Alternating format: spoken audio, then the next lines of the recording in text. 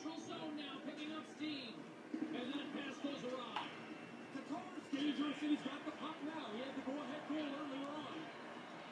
Back to the point, they set it up. Here's a short pass to Barry.